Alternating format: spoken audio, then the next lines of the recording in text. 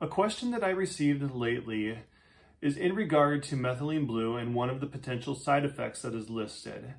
On multiple sites, including UpToDate, drugs.com, and a few others, it lists extremity pain or limb pain as one of the potential side effects. In fact, it states that, is one, that it is one of the most common side effects, listing an 84% prevalence rate which is pretty big if you think about it. 84% of people, that's more than four out of five people that take it that are supposedly uh, having this side effect of limb pain. What's interesting is that in my clinical experience, I am not finding anything close to this.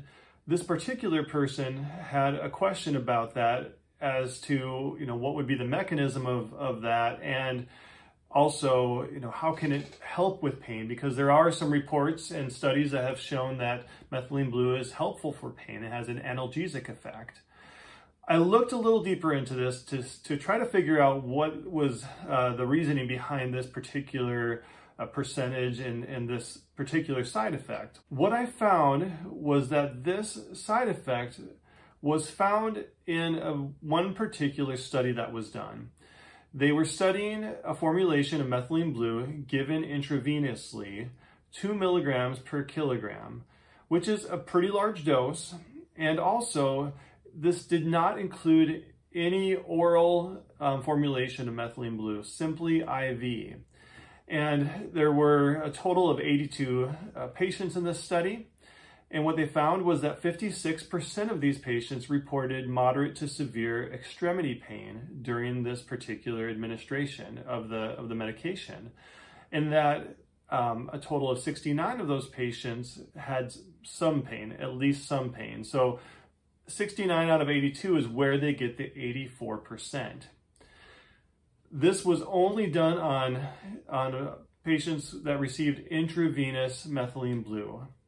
However, when you look at the, the websites like UpToDate that reports adverse effects and side effects, it's not as clear as to you know what formulation is going to cause that potentially and again, in my clinical experience, I have not seen this be an issue with anyone that's taking it orally. When we look at this particular side effect or any side effect, we have to look back at where was this reported? Was this an aftermarket report? Was this done through a clinical trial? And if it was, look at the clinical trial.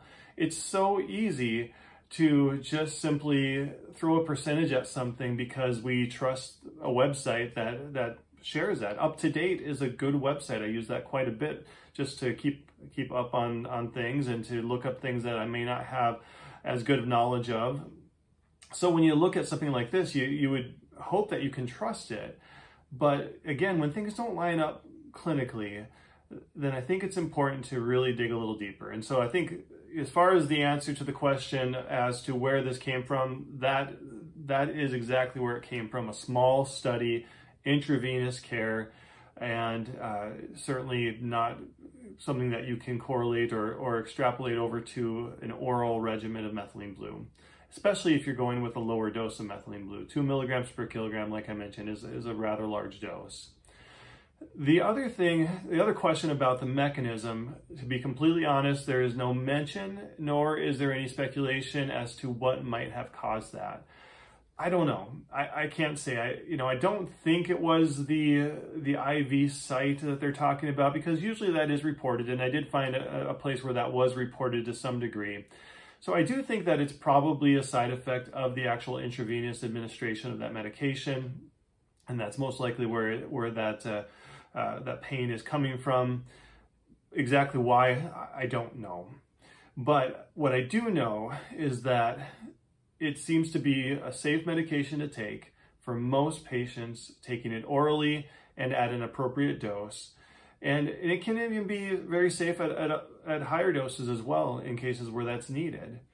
I think more importantly than anything, and this could be a, a whole nother video, but more important than anything is watching for serotonergic effects.